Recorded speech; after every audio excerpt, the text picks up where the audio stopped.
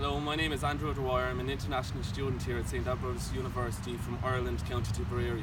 Coming to St Ambrose University was a great experience, meeting new people from all over the world, giving me a broad insight into different cultures and ethnicities. Slán agus gur mí